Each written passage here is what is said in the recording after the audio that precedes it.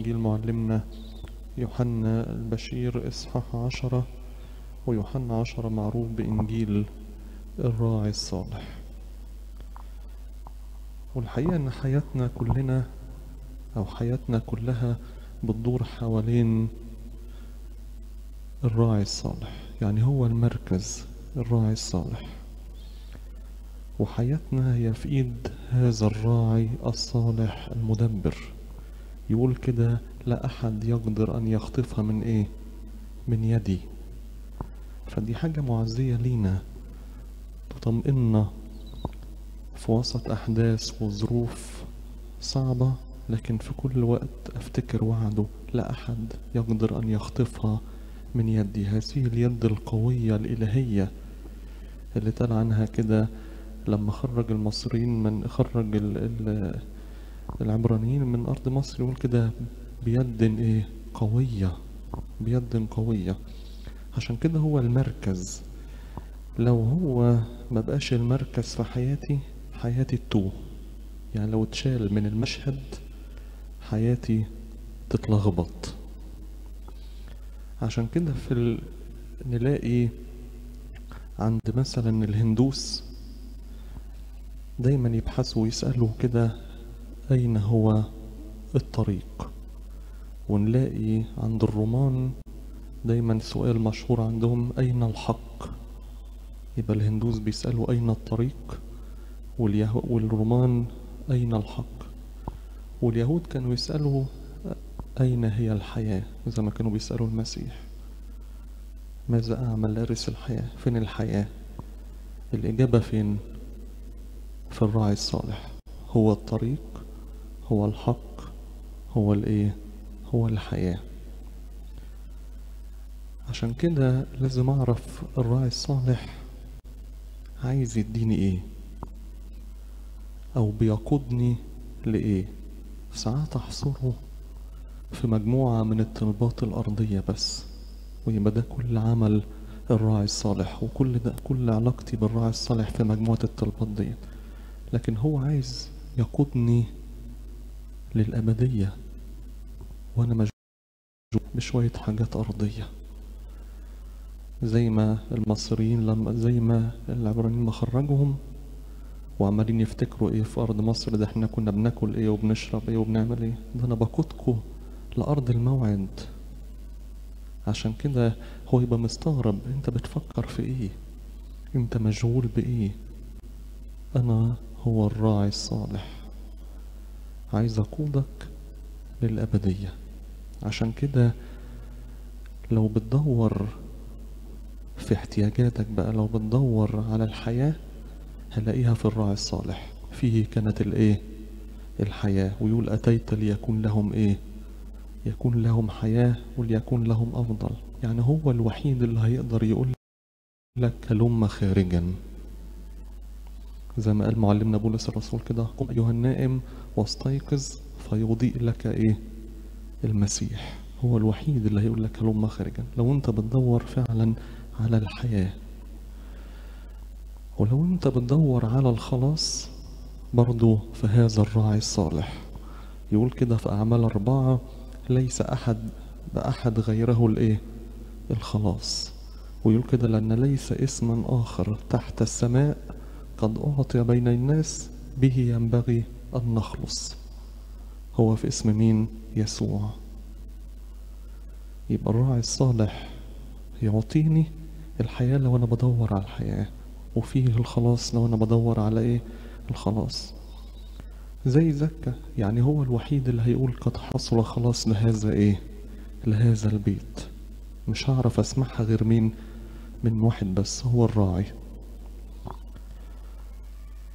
مجرد مقابلة معاه غيرت حياة زكا للأفضل لأن هو قال كده أتيت ليكون لهم حياة وليكون لهم إيه؟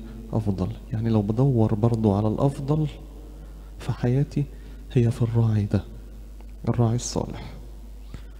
لو بدور على الارتواء برضو هلاقيه في هذا الراعي الصالح زي السامرية كده.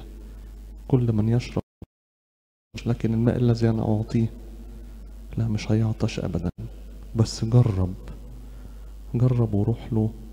قول له يا رب أعطيني هذا الماء. ولو بدور على الشفاء الحقيقي هلاقيه في المسيح زي نازفة الدم كده. يقول قد لمسني إيه؟ قوة خرجت مني. فبيقول قد لمسني واحد كله بيسحمه. وحواليه بس لمسني واحد جاي إيه اللمسة بتاعته إيه مختلفة. هو عايز الراعي الصالح. يقول عنها أنفقت كل معيشتها ولم تقدر أن تشفى لأن الوحيد اللي هيشفيني هو الراعي. كده جميع الذين لمسوه نالوا الشفاء. ولو بدور على الغفران برضه هلاقيه في هذا الراعي الصالح. زي ما قال المرأة الخاطئة كده إيه؟ مغفورة لك خطاياك. الوحيد اللي هيقدر يديني الغفران هو هذا الراعي الصالح. ولو بدور على الحياة الأبدية يقول كده يوحنا الحبيب في رسالته من له الإبن له الإيه؟ له الحياة. من له الإبن له الحياة. ولو فاقد في حياتي الحب بدور عليه برضه هلاقيه فين؟ في الراعي الصالح ده.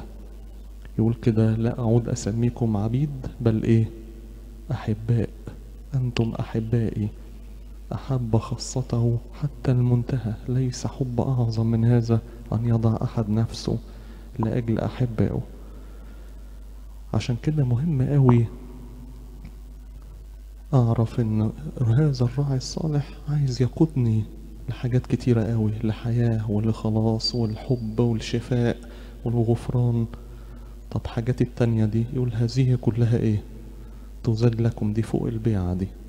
دي مش مشكلة ما تقلقوش منها. لكن أنا هقودكم لإيه؟ لميراث سماوي. بس أنت بتسمع هذا الصوت؟ يعني بتستجيب وتتفاعل. هو قال كده في المثل خرافي إيه؟ تسمع إيه؟ تسمع صوتي.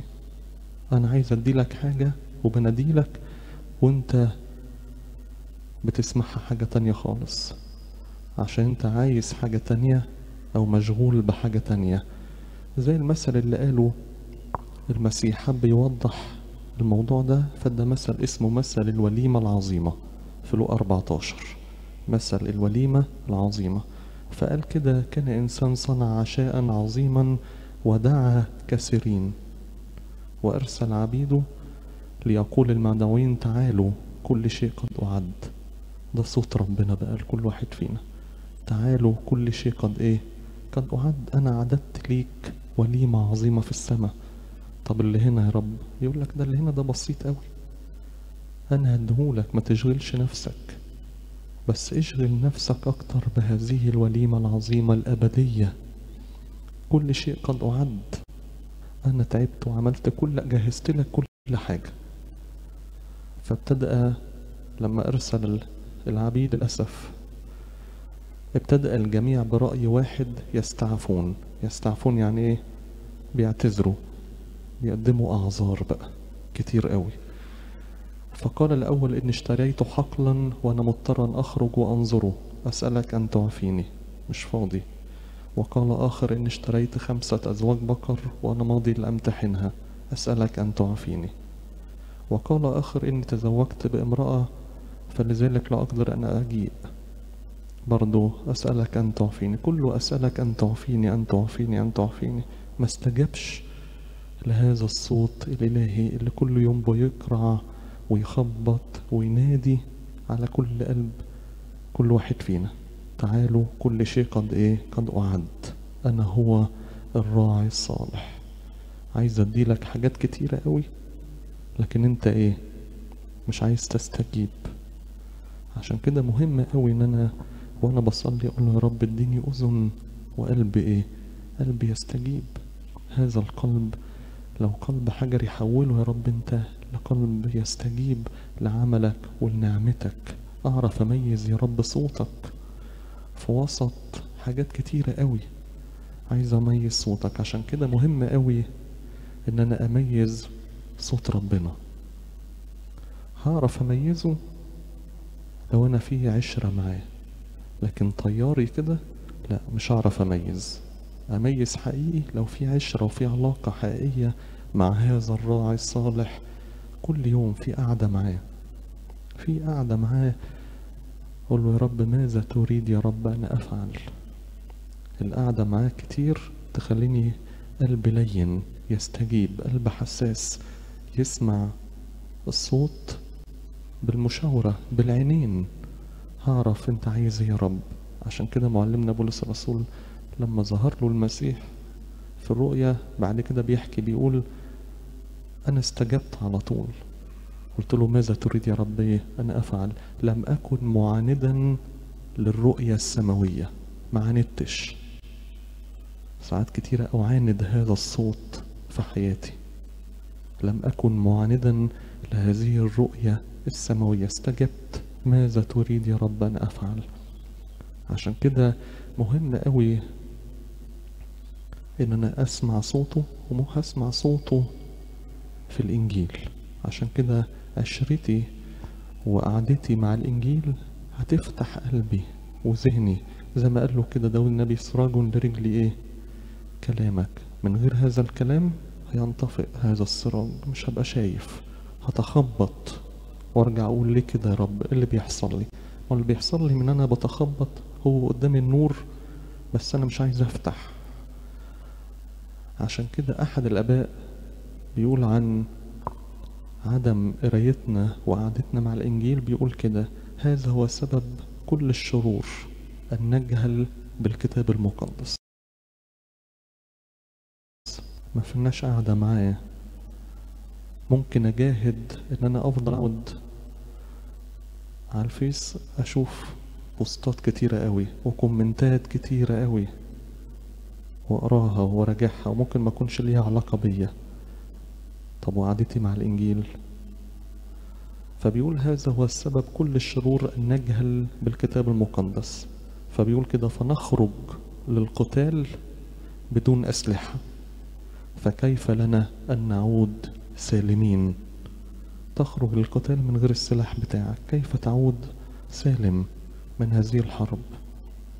كده في هذه الحرب لازم أتسلح بكلمتك يا رب. مهم قوي عشرتي معاك هي اللي إيه؟ هتخلي أذني وقلبي حساس عايز يفهمك على طول من أول من أول نظرة. أنت عايز يا رب في الموضوع ده في الموقف ده.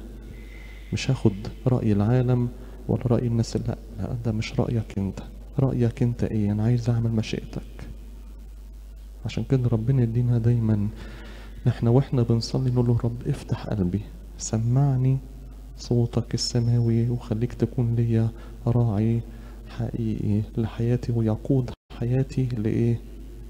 مش لحاجات أرضية بس للأبدية. ربنا يدينا دايما إن إحنا نتمتع برعايته لإلهنا كل مجد وكرامة من الآن وإلى الأبد. آمين. أغنية خنو مثميني ثو بنت بايه بي واي بي واي كاتا بفرني من راتي انت بخريستوس Ribres ve vineri egon, tschos nefterin tisaoto kosma.